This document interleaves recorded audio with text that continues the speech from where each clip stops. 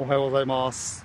えー今日は4月23日土曜日、現在時刻が朝の6時50分です。でこんな早くからどこに来ているかというと、ここです。武蔵野森コーヒー。お店のオープンは7時なんで、まだ10分ぐらい時間があるので、ちょっと外で今少し散歩しながら時間潰してました。まだ10分ほど時間があるので一旦車に戻ってきたんですけど、先日、武蔵野森コーヒーに行った時に、まあこういったスタンプカード、えーサービスがあって集めてるんですけど、9つ目のスタンプをしてもらったんですね。で、その時に気がついたんですが、なんとこのカード、有効期限があって、えー発行日が21年の5月1日。で、発行日よりね、えー期限が1年間ということで、もう日があんまりないんですね。で、今日が、えー4月23日ということなんで、あと1週間ほどでこれ期限切れになっちゃうんですね。で、今日最後10個目のスタンプをもらって、あと数日間の間に、えーこれちょっと使い切らなきゃダメなので、今日は早速この10個目のスタンプもらいにモーニング食べにやってきました。ちなみに今撮影に使っているこのカメラですけど、ソニーの α7S3 になります。で、レンズは今日は G マスターレンズの 24mmF1.4 ですね。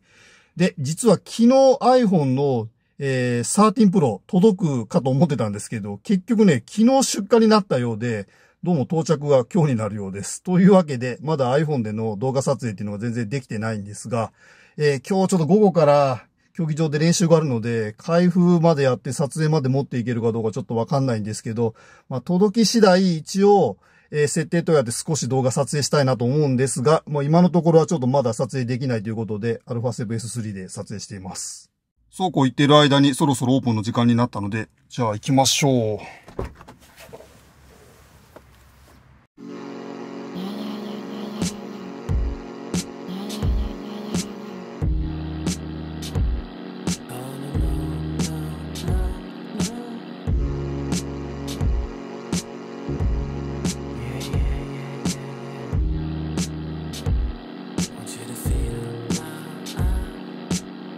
7時のオープンと同時に一斉に皆さん入店始めました。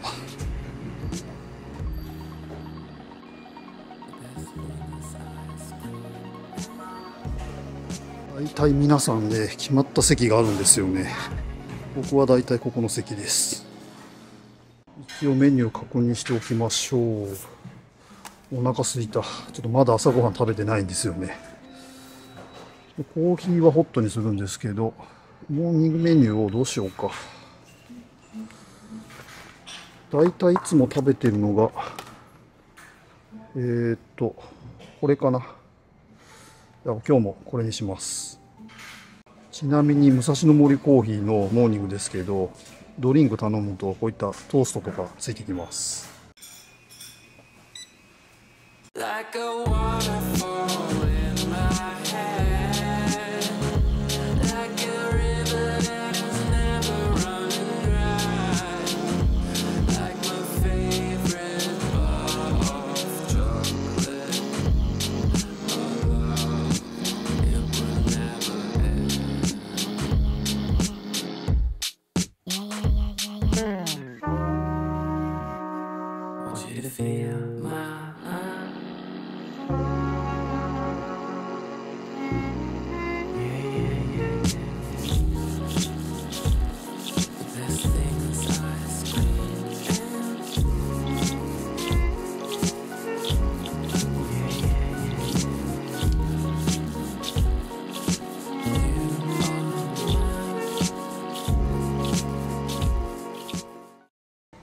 は先にコーヒーからいただきます。めっちゃ香りがいい。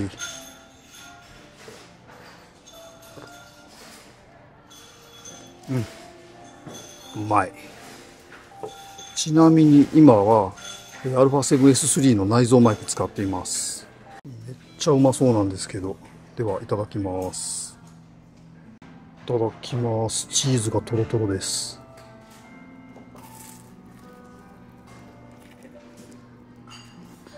うん。めっちゃうまい。ごちそうさまでした。ごちそうさまを取る前にお皿下げられちゃいました。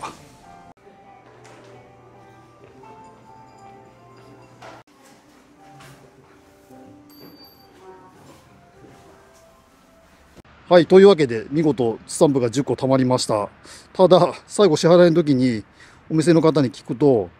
あんまり期限は気にしなくていいですよとのことでした。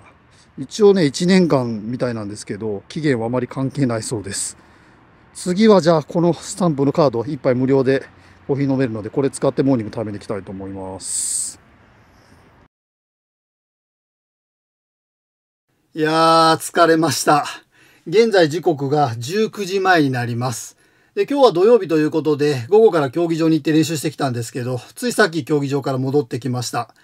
で、昨日からもう待てども待てどもなかなか届かなかった荷物なんですけど、まあこいつなんですが、えーさっき競技場から戻ってきたら、ようやくね、職場の方に届いてたので、今持って帰ってきました。というわけで、もうささっと開封、開封いらないかなもうささっと取り出して、えー今日晩に、もう今日ちょっと撮影できないかと思うんですけど、夜に、えーセットアップ等をやって、明日から運用させていきたいと思います。いやー、しかし、噂には聞いてたんですけど、本当にこのね、iPhone 13 Pro なんですけど、パッケージっていうか、この梱包の箱のサイズがめちゃくちゃ小さくなってますね。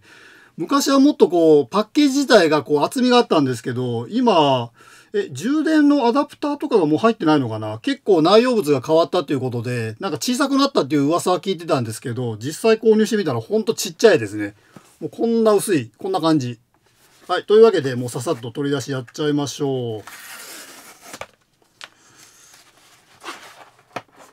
あ、っていうかもういきなり出てきましたが。わ、薄っこんな薄くなってるんですね。こんな感じ。もう今更感非常にあるんですけど、もう約半年前に発売された iPhone 13 Pro を、えー今回購入したんですが、もうスマホとして使うんではなくて、まあ、前回の動画で話をした通り、今回はまカメラだとか動画のカメラといった、えカメラ専用機として今回、え使おうかと思っています。で、これはどうやって開けるんだ？ここここ？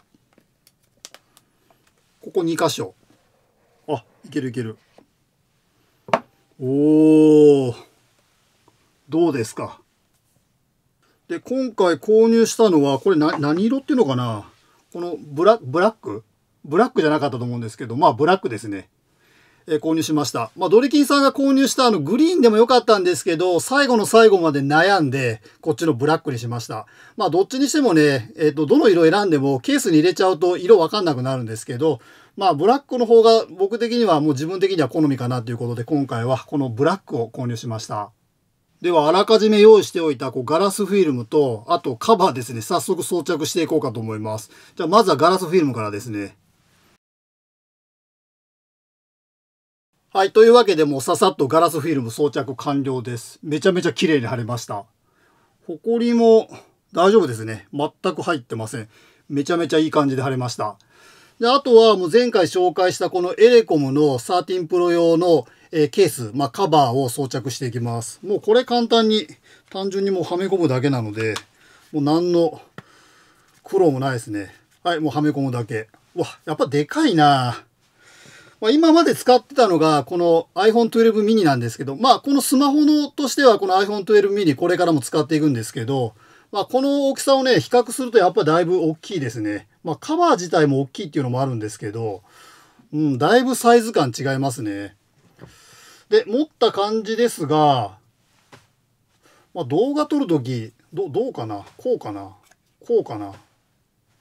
まあ持ち方まだね、ちょっといまいちどう思ったらいいかっていうのがね、こう最適な持ち方がよくわかんないんですけど、ただまあこのカバーのいいところは、こういったあの四隅が、こうちょっとね、こう盛り上がった出っ張ったような形になってるので、こう指の引っかかりができるんですね。それで、こう滑りにくい、落としにくいっていうような、まあ形状になってるかなということで、このエレコムのカバー、えー選んで購入したんですけど、まあ実際また明日からは、えーこのスタイルで、えー撮影していこうかと思います。で、スマホとして使うんじゃなくて、うん、動画だとか、あとカメラ機専用として使うので、いろいろと例えばね、工夫できるんですよね。どうしてもスマホとして使おうとすると、いろいろと、うん、できないこと多かったりするんですけど、例えばいろんな、えパーツつけたりだとか、付属品をつけっぱなしにすると、ポケットだとか、こうバッグにこう入れられないっていうようなことが起こるんですけど、もう本当にカメラとして考えたら、例えばですよ、ここにグリップをつけたりだとか、よくね、あの、コンデジ用だとか、まあ、小さなカメラに取り付けする、えー両面テープのね、グリップなんかがあるんですけど、例えばそういうものを装着したりだとか、あと、まあ、ストラップ関係を装着したりだとか、あと、マイク部分に、えーいつもやってるようなスポンジタイプのモフモフ装着したりだとか、まあそういった工夫がね、カメラ機として使うんだったらできるんですね。まあそのあたりまた自分なりにいろいろと工夫しながら、えーこの iPhone 13 Pro カメラ機として使っていこうかと思います。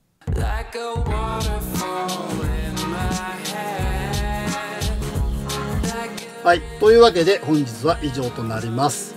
今日帰ってからもうささっとセットアップやって、まあセットアップって言ってもほとんどアプリも入れることないし、で、簡単なまあセットアップしかやらないので、多分時間そんなにかからないとは思うんですけど、ちょっともう時間が今日は遅いので、で、明日から13 Pro 使って動画撮影やっていこうかと思います。また感想等コメントいただけると非常に嬉しいです。ぜひチャンネル登録もよろしくお願いします。それではまた。